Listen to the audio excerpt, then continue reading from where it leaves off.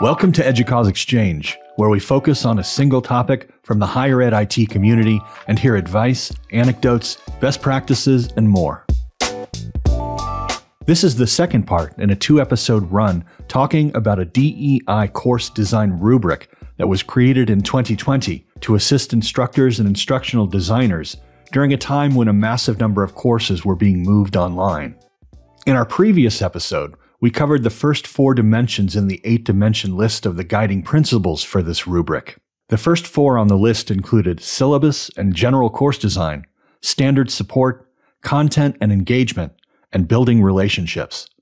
I encourage you to listen to our previous episode to hear the authors expand upon those topics.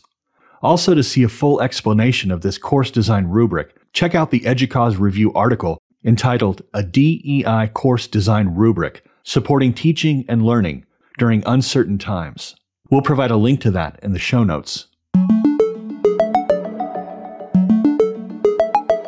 This brings us to the fifth dimension of the DEI course design rubric, and that's implicit bias. This states that the instructor and the learners should be aware of any biases or stereotypes that may interfere with learning. I think the first step is for instructors, both in the syllabus, but also just in their conversations with the class, to acknowledge that they're going to demonstrate sometime bias that, that they're not going to be aware of. That's Kim DeBacco, Senior Instructional Designer at UCLA. She's part of the working group from the University of California Instructional Design and Faculty Support Community that helped to author this rubric.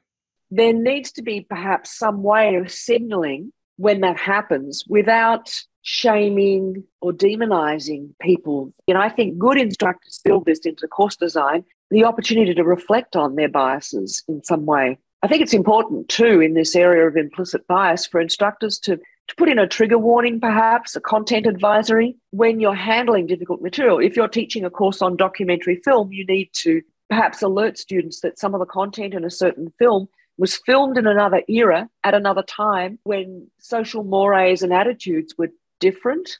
The sixth dimension are considerations around technology. This dimension encourages educational technology tools needed to support learning outcomes and provide equitable opportunities for student success having that as your baseline right? If if that student can be successful you hope that other students would also find whatever technique or tool that you're using helpful in the course. So captioning all of your video content making sure that all of your course materials pdfs are accessible by a screen reader. Nick Mattos is also part of the design rubric group and he's a senior instructional designer at the university of california san diego the other area of concern in the area of technology is proctoring of exams. And, you know, I've got one con- big concern here. When we use uh, webcams and we do proctoring through certain third party tools that are out there, there have been, in, been cases recently where students who have dark skin colors, the technology flags them, red flags them. And, you know, there are cases where technology itself is not very inclusive, where it's practices are not equitable. So, you know, again, we need to be thinking about that. And this dimension is designed to draw the attention of instructors to, to the technology that they're using or expecting their students to use.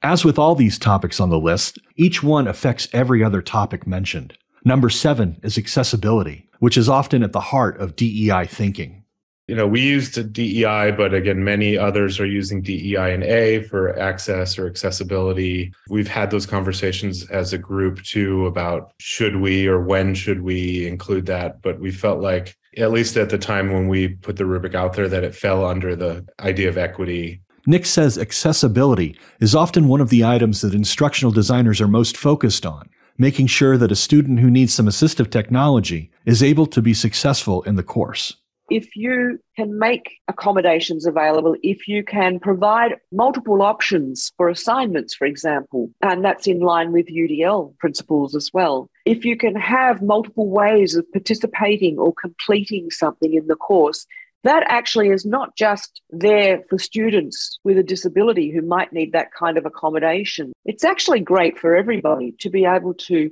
complete an assignment in the way that they feel they can do it best.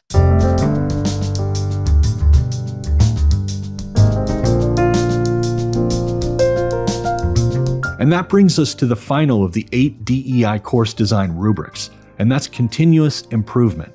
And while it might be implied without saying, an eye to always improving students' chances for success is a good thing to remember. I really feel like it's encouraging instructors and all of us, instructional designers as well, who use the rubric, to engage with professional development, for example, to learn more, to keep learning as instructors. I think continuous improvement is all about our learning, our self improvement, as well as improving the course experience that you might have designed and, and taught. We are all works in progress, and it's inviting us to keep improving. This area is again is sort of fit in what we turned into an introduction to the rubric or sort of a almost a philosophy that the group that drafted this had different levels of experience in all of these areas. And these conversations are always evolving. Um, and again the, we talked about that now next later mentality rather than um, good better best what Nick's referring to here is a choice the group made in designing these course design dimensions so it did not promote an inbuilt hierarchy of judgment. Thus, they decided on the now, next, later column headings to organize what is essentially a long list of DEI strategies. I really love the now, next, later approach to the rubric. That's Kathy Pelletier, EDUCAUSE director for our teaching and learning program. She says this approach allows instructors and designers to find the strategies that are most approachable at varying levels of experience and capability. Really putting the agency in the hands of the faculty member or the instructional designer to think about this as a kind of ongoing opportunity for them to take action. And especially as it relates to diversity, equity, and inclusion, where we're all learning and all you know every day i know i i really discover new opportunities for development myself. Uh, it feels like a really supportive approach.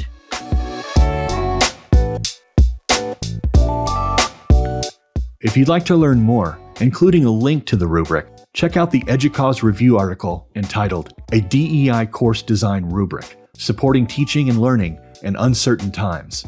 We'll provide a link in the show notes for EDUCAUSE Exchange, I'm Gerry Bayne. Thanks for listening.